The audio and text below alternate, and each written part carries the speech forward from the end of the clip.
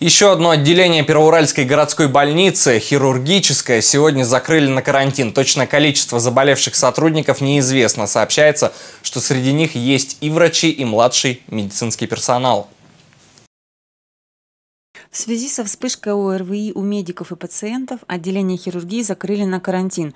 Проводится внутреннее расследование, выясняется источник заноса инфекции. Новых пациентов на время карантина будут госпитализировать в больнице Бесерти и Нижних Серег. Все сотрудники хирургического отделения обязательно пройдут тестирование на коронавирус, а пациенты останутся в больнице на ближайшие две недели. Напомним, что недавно карантин был объявлен в двух других отделениях – неврологическом и терапевтическом. Сегодня ограничения с отделения неврологии сняты, к открытию готовят и терапию.